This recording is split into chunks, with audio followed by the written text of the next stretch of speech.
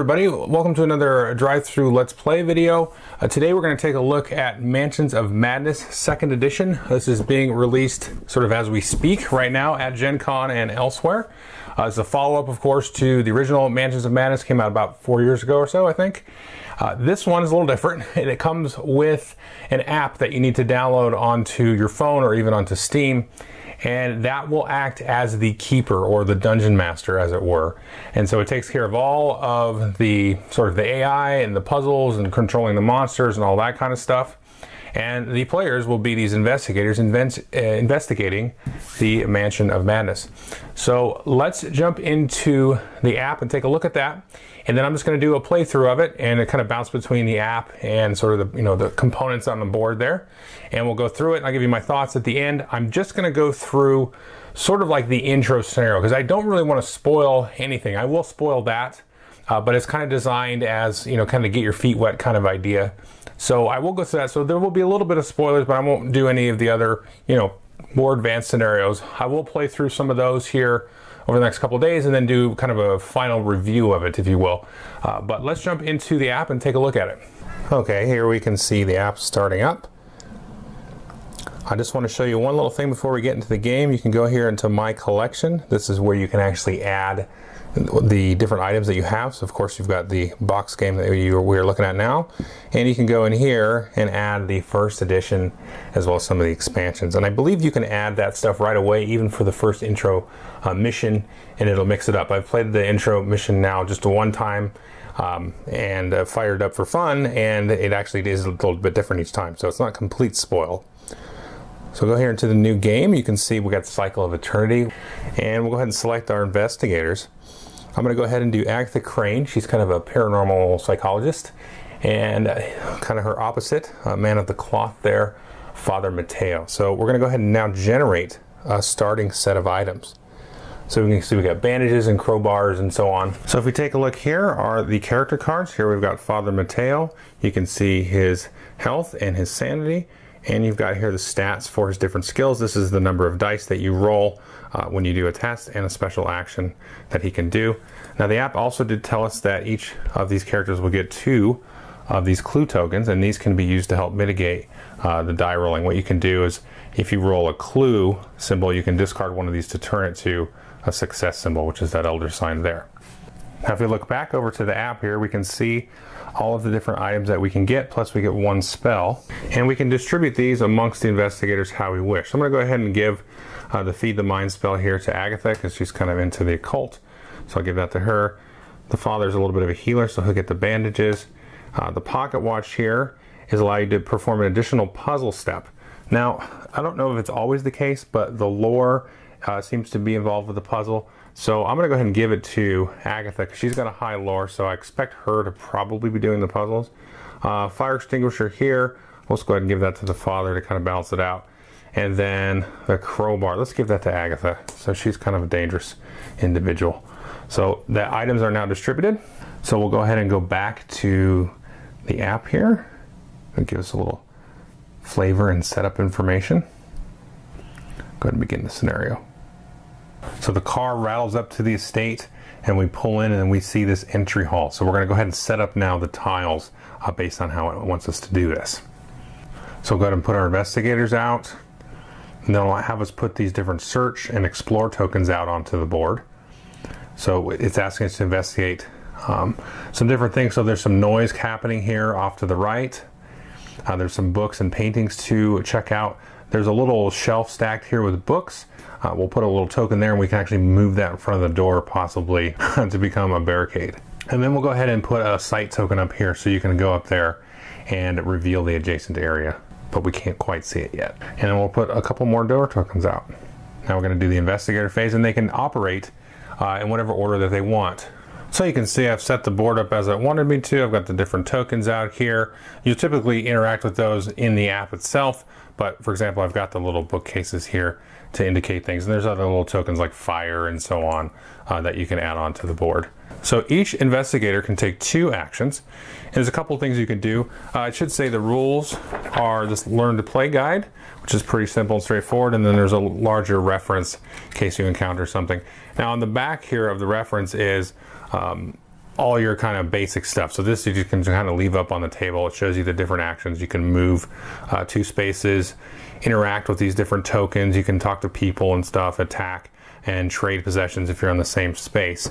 Uh, one thing to note, you might not be able to see here, but you can see like this solid line there. That's indicating a space. So if I wanted to move up here, it'd be one, two to get to that. So we're not going to do that though. We're going to go ahead and see what all the noise is about right here. So Agatha is going to go ahead and act. She's going to interact with this token here. And she's going to explore. You can see the explorer has a little symbol there. That means it costs you an action to do that. So she hears crash of pots and pans and is that hissing? so she's going to explore. And we're going to go ahead and now grab the dining room table here. Or excuse me, the dining room tile. And so now we have a creature here. The creature turns to face you. Uh, this I didn't read before, but the creature has been chasing around uh, this other man. And so whoever interacted with this, in this case is Agatha, she's going to suffer two horror hits. But you can see at the bottom there, it has a little symbol and it says negates. So this is a test, and you can see we're going to test Agatha's will. She's got four, so she's going to take and roll four dice, and for each success, she's going to negate one of those horror hits. So she's got to get two success, hopefully. We'll go ahead and roll that. And she did. She got two successes. She could have had a third if she wanted to spend a clue token. So she's not going to suffer any horror hits. Now back to the app. Uh, we have to spawn a hunting horror. So let's just go back here. We'll go ahead and put the hunting horror uh, like so.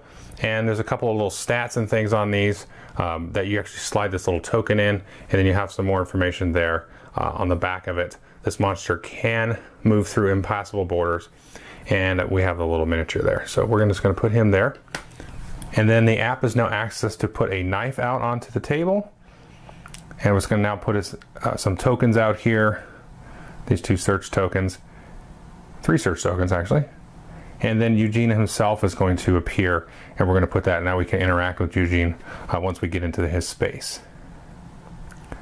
And so the investigator that did this can move one space into the explored area uh, to finish out and round out their action.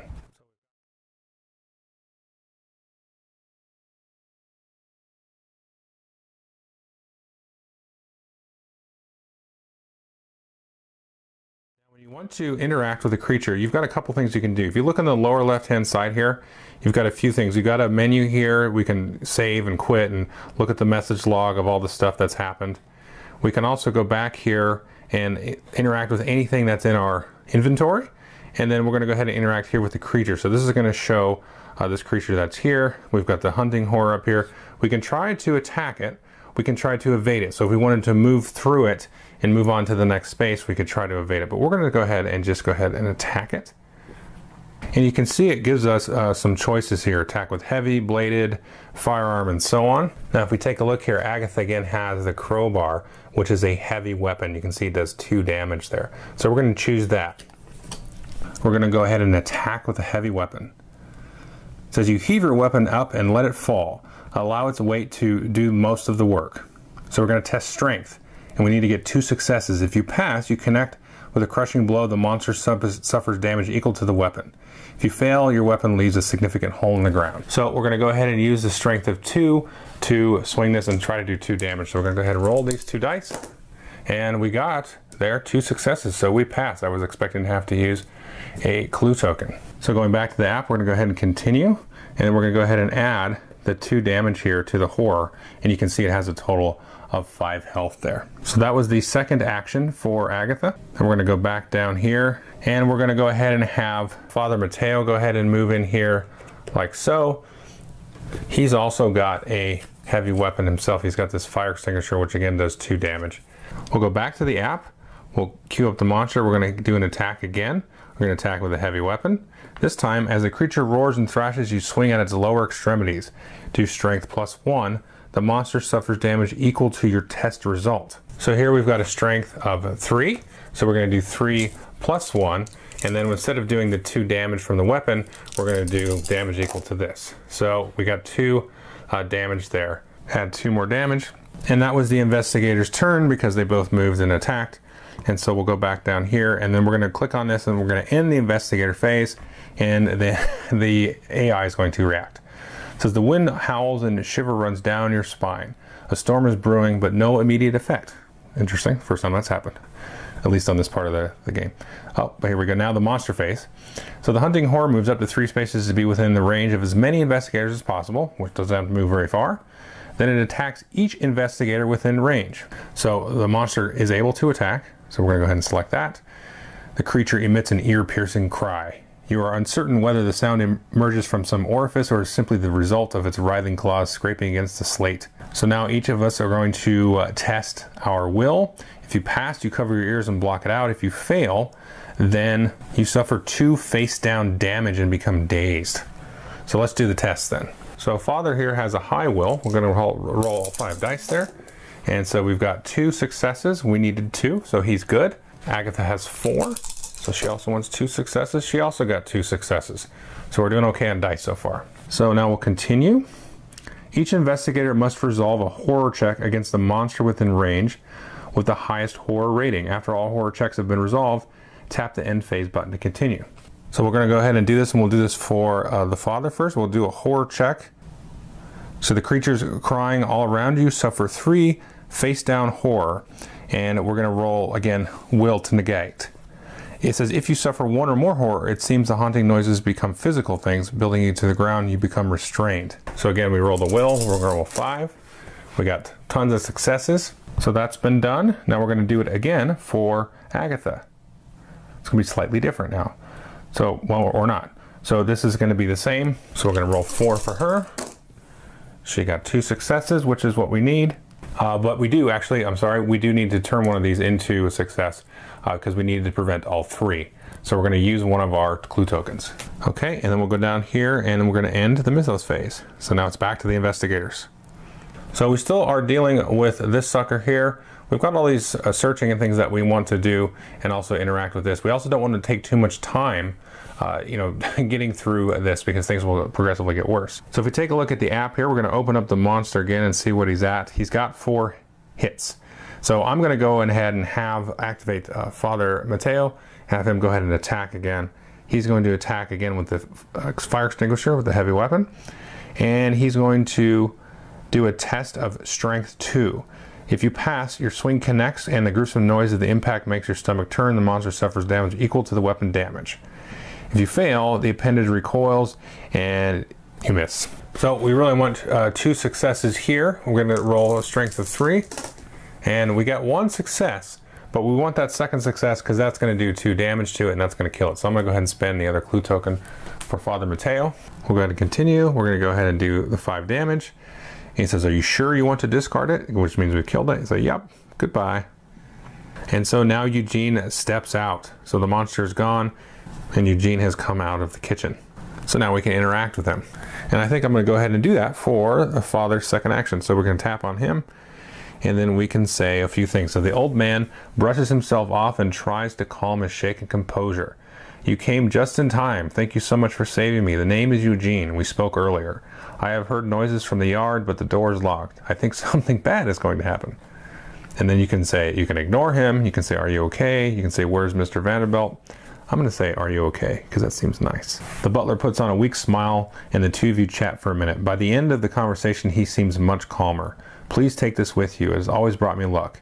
Gain the Lucky Rabbit's Foot common item. Then each investigator in the dining room and kitchen discards one horror. And we're going to go ahead and give that to the father there, since he's the one that was doing all that work, talking to the guy.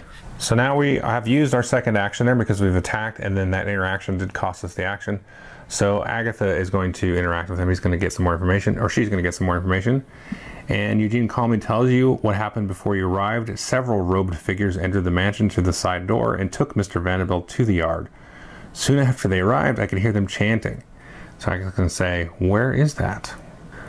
Those ruffians took Mr. Vanderbilt to the yard. You can get through the west door of the hall, but the door's locked. Mr. Vanderbilt likely keeps the key in his weight. I'm not sure if he would want me trusting you with this. So what's going to happen now is we're going to test our influence, but we don't know how many successes we need. So Agatha here has three influence. We're going to roll a three dice.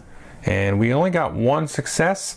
We don't have any clue tokens, so we're going to enter into the app. We're going to put one success, confirm it. Probably not enough. no, no, Mr. Vanderbilt would not like me talking about that with strangers. Let's try again. Let's go ahead and interact with him again. And the old man looks conflicted. He obviously wants to tell you how to access the yard, but he cannot bring himself to reveal the secrets. Where is the key? So we're going to test again. So we've got the three influence here. We're going to roll that. Okay, so we've got two successes. This is pretty important, so we're going to go ahead and do that and get a third success out of it. So we get three successes. Go ahead and confirm. All right, Mr. Vanderbilt has a hidden office that he often retreats to. The door is hidden in the estate's library, which is through the north door when you get into the hall. He uses a very strange lock hidden behind a bookshelf. The butler instructs you how to open the secret door in the library, gain a clue. So that's great because we get a clue back. Now that was Agatha's second action, trying to haggle with this fella. So we'll go ahead and end the investigator phase, mythos phase. You notice too late that the ground is covered in a slick ooze. How did we miss that? The mythos event affects the investigator with the lowest observation, and that is Father Mateo. He only has two.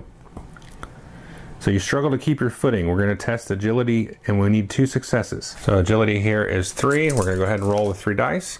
We have two successes, so we're good. So looking at the layout here, we know we need to get up here uh, to the library and get a special key up there. So um, there's not really much else to do. So I'm going to go ahead and have Father Mateo go here one action. So he's got to go two spaces there because of the line. And then his second action is going to be able to move up here. And since we are now here, we can now try to reveal this. So we'll look back over at the app here, click on that. So the hall continues deeper into the mansion. So we're going to go ahead and reveal that. All right, so we see another hall here. The hall continues from the bathroom hall towards the side of the mansion. Place the hall end tile here. So we've done that. We're going to put some two clue tokens out here and some door tokens. So moving back here, we could have uh, the father kind of use his second movement there, but I'm going to go ahead and just leave him there. And then we're going to go down here. We're going to catch up Agatha. There's a one action. Second action could be to come up here like so. And that will end the investigator phase. So we'll go ahead and end investigation phase. The mythos phase will happen. A senseless chatter arises, filling not just the air, but Father Mateo's mind. Father Mateo suffers two horror. So we can try to negate that. So we got will plus one. So we got six dice we're gonna roll. We should be okay. There's our two successes. So we'll go ahead and continue back to the investigator phase. And so they're both located here in this uh, central little uh, room here. So we're going to try to get access here. So we're going to have uh, Father Mateo go here. And he's going to try to explore that there. So now we have revealed the library. So go ahead and place that wall tire there. And then a search token. And another search token. That's where we need to go because that's where the guy told us to go. Uh oh, and then a robed figure draws out a strange idol and begins chanting. Before your very eyes, a terrifying creature appears out of thin air. The cult member speaks some words to its strange language, but the creature turns on him, tearing him to pieces before your eyes. Spawn a hunting horror, then suffer two horror, and negate that with the willpower. All right, kind of going through the motions here with the father. Oh, he just barely got it. And we may move one space into the explored area. So the father's going to uh, finish that first action. So he's up here like so. And now we have a couple of options. We can try to interact and fight this creature. We could try to evade and get over here because we do know that the uh, the bookcase over here is how we want to get the key to get outside.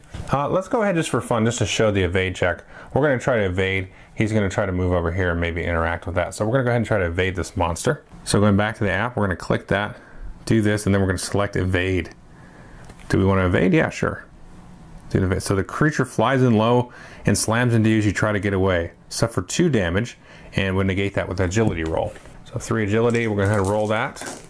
Two damage, so I can get rid of one damage. Let's go ahead and take a little damage here. So when you take damage in this game, you're going to draw cards off the top of either uh, sort of the brain deck and then the physical deck there. Now it'll sometimes tell you to draw it face up, and the insanity has a little bit more interesting stuff that can happen. Sometimes you'll keep things up as face up as well, or you'll just uh, resolve them immediately and maybe discard them. Uh, so we're going to go ahead and take this one face down uh, physical damage here on the father. So he's got to get um, five more before he becomes wounded. If you become wounded or insane by hitting this target number, and then if you hit that target number again, uh, then you will be eliminated from the game.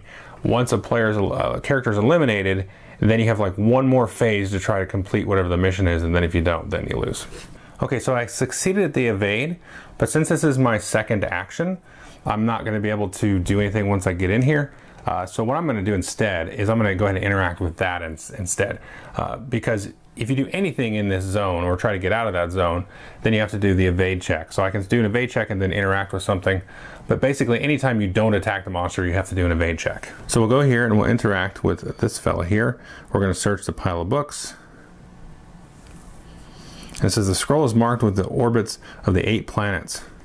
A straight line is drawn out across them from the sun marked with today's date and the words planetary alignment. Gain a clue and then discard the search token. Okay, so now it's Agatha's turn and she gets two actions. So she could also move in here and evade and then go ahead and do that token for her second action. And so I think we're going to go ahead and try that just to kind of keep uh, things pushing along so we can see what's in here. So she's going to move in here and then try to evade again to continue her movement. So we're going to pull the monster up again, attempt the evade here with Agatha. Yes, we want to evade. So now we're going to try to do a dexterity 2 check. The monster tries to grab us around our legs. If we fail, it catches you and pulls you back. Suffer one face down damage and forfeit your action. So we really want to succeed this. So we'll go ahead and roll 3 for agility. So we got one success, which is not enough. So we have to take a face down damage like so. So back to the app, we've got our second action now. Uh, so we can't move anymore, so we're gonna make it, gonna make it pay for it. so we're gonna attack. Again, she's got the crowbar, which is the heavy weapon. It says you bring your weapon down, attempting to crush a monstrous appendage within reach. So we're gonna do strength, and we need to get two successes. So we're only gonna roll two dice here. So there are two successes, perfect. And so we're gonna do damage equal to the weapon now as instructed by the app. So it's gonna take two damage. Apply two damage to the monster, and then that is going to be the end of the investigator phase. They both took two actions. Mythos phase. Agatha Crane has lost her way. Suddenly desperate for a familiar landmark or clue to her location, Agatha suffers two horror, and we can negate that with observation. So observation is four. We're going to roll four dice. We need two successes, so we're good there. So the monster is going to attack. The hunting horror moves three spaces towards investigator within range with the lowest, then attacks that investigator. So lowest dexterity, or agility, excuse me. And they both have three. So in a case like that where you've got a tie or some kind of conflict, uh, it's up to you to decide. I'm going to go ahead and have it attack uh, the father because he's got more health. So the monster attacks. The creature flies past you with maddening swiftness, suffer two damage, and rolling dexterity to prevent. So we're going to make our agility test here. Roll that. Now we have one. That's going to negate one damage, but we can flip this one over here to negate another. I'm not going to do that. I'm going to go ahead and take one more extra damage there, kind of right by the seat of my pants a little bit there. So go ahead and take that one. Each investigator must resolve a horror check. And so we're going to start with the father. He's going to resolve a horror check. The creature rattles deep in its throat, then begins to speak in clear, unambiguous words. The last words of its many victims, one after the other, suffer three horror. Again, we can negate that with a will, so we're going to do that. Okay, well, hmm, we're going to suffer three horror, which we don't. Really want to do, we have eight. Eh, I don't know. I'm gonna, what I'm gonna do is I'm gonna spend one of these and just take two horror. So we're going to take these two like so. And we're also going to resolve another horror here with Agatha. So this is similar to before, suffer three face down horror. We can negate that. If you suffer one or more, then you become restrained. So she's gonna roll four, trying to prevent three. Ooh. So she's gonna suffer two.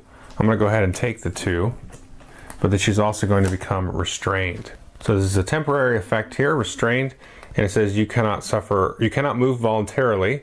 At the end of your turn, discard this card. So we basically can't move next turn. Back to the investigator phase. Well, since Agatha is restrained, I'm just going to have her wail on the horror there. So let's go dig up the monster here. We're going to go ahead and attack it. We're going to hit it with the crowbar again.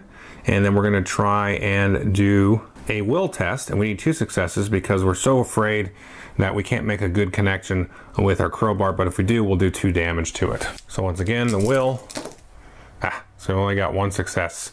Uh, we could do that into a success, screw it, I'm gonna do it.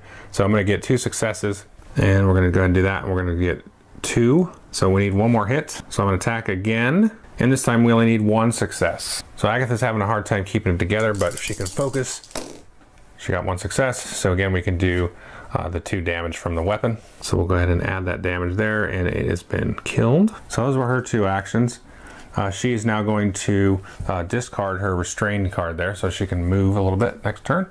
And now we're going to have the father move in here. He's going to interact with that. So we'll go ahead and do uh, the clue here and it says peering behind the bookshelf the robe figure was moving you see runic circles inscribed on the wall we'll search it you push aside the shelf to reveal the ritual circles the butler spoke of you attempt to trace them as he told you a tap to attempt the puzzle using lore and that's unfortunate because remember i gave the pocket watch uh, to agatha i really want her actually to do the puzzle step so the father though has four lore which can be decent so this is one of the more basic puzzles. There's three types of puzzles and you try to basically swap these different tiles around to make a, a whole image here. And I'm really going to try not to uh, embarrass myself. okay, so this first one here should be pretty easy, okay. And the next one here over on the right, connect that one. And I already see where I screwed up because uh, I can see the hand. And let's see here there. I've already messed up. and we'll move this one down here. Go ahead and close it. Worth uh, you could spend a clue token to take an additional step, but I'm not going to do that just yet. So that will end there the father's turn. So we'll end the investigator phase, moving into the mythos phase, which was a clue. Uh, this stress of this investigation is mounting beyond common tolerance. The mythos event affects the investigator with the lowest will. Your mind is unbalanced. So we've got this test strength two. So Agatha has the lowest will. She needs two successes on two. She got one, that's it. So she failed, so violent laughter leads to gripping your torso tightly and rocking. Suffer one damage and become restrained again. A robed figure bursts in the entrance and yells, There's someone here. Get rid of them. Spawn a cultist. So we've got the cultist here. He's coming in the front door. And it says the cultist moves up to two spaces to be within range as many investigators as possible, then it attacks each investigator within range. So it's going to move up here one, two. And so when the app says within range, it must be within three spaces so he can get uh, a beat on Agatha there. So we're going to select the monster attacks. The cultist mumbles a dark chant. You feel something writhing within your skin, opening old wounds. Suffer one face down damage, strength minus one. Then flip one damage face up. So she's only got a strength of two. Uh, so it's going to put her down to one die. You always roll at least one die. So, oh, she does block that, but we have to take a damage and turn the face up. So we're going to go ahead and do this one, and this one says, no additional effect, flip this card face down. Coolio. Each investigator must resolve a horror check against it. Let's just do Agatha while we're at it. Confirm. Cultist smiles at you almost pleasantly, teeth rotting, suffer face down horror. So we're to try to negate that. And she succeeds. Now we'll go ahead and do the horror check for the father. So he's got five. So he's good too. Now we're done with the mythos phase. Back to investigator phase. Okay, so Agatha can't do anything because she's restrained again. She can't attack the cultist because she doesn't have a ranged weapon. So she's pretty much useless there. So she's not going to do much. I'm going to go ahead and have the father, uh, while Agatha's sort of distracting the cultist, trying to do that puzzle again. Then we're going to do lore again which again is 4. So go ahead and move this down here, this over there. That's two steps. And what's next? One more step, one more step. That's four moves. Could spend a clue token to get an extra move out of that. So I'm gonna go ahead and do that. And I think I made a mistake. so that's all right. So we're gonna close that. And then we're gonna now go back to it we're going to attempt it again. We've used that clue token. And we're going to go back down here. Move this one down. Move this one down. Do that one. So close. And that's the last move there. So that's the end, basically, of our investigator phase. So we're going to kill that off. The mythos phase is going to happen. The hairs on the back of Father Mateo's neck stand on end. He spins around as a harsh voice calls his name, but there's no one there. He suffers two horror hits.